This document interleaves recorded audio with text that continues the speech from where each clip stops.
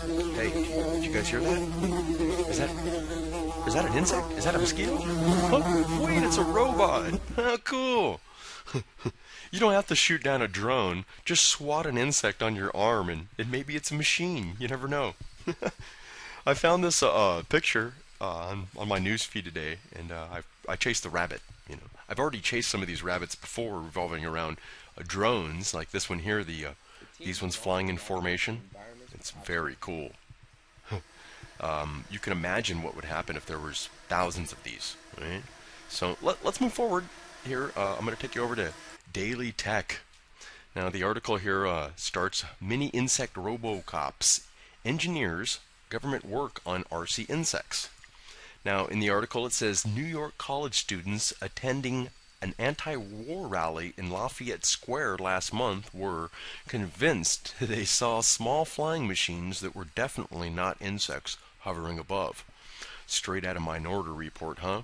Let's scroll down into the meat and potatoes here. I wanted to point something out to you here. I thought this was kind of cool. All right, here it is, right here. Check this out.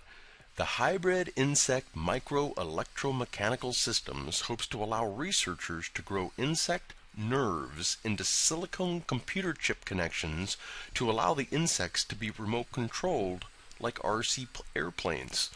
DARPA researchers also are raising cyborg beetles. I did a video uh, uh, on all this, some of the DARPA projects that's coming out of uh, the, I think it was Boston Dio, Dio uh, Boston Dynamics. I believe that's what it was. Uh, let's keep tracing the rabbit here. Let me show you something here. Follow me over here. Well, the rabbit took us over here to Ponoko, the world's easiest making system. It's some type of blog.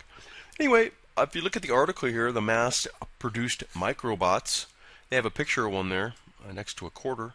If you scroll down here, there's a video here. I want to play you a little bit of BAE Systems say dragonfly-sized spy insects will also be used by local law enforcement agencies to keep track of those entering federal buildings or even people inside their homes. BAE Systems has just signed a $19 million contract to develop the micro-spy bug bots for the United States. Amazing. For more than pretty mind-blowing, huh? Well, anyway, let's keep running here. That um that video came out of a, a website here, uh, matrixnewsnetwork.com, if you're, if you're interested in that. Uh, let's cruise back over to my website here, and if you are interested in more of the ways that the New World Order is trying to infect your life with infestations of microbots, just look up. They're called chemtrails, which they're uh, spraying nanoparticles on us in order to tag us for future observations. Anyway, that's going to be my video for tomorrow. So I hope you enjoyed the video, and I'll talk to you later. Bye.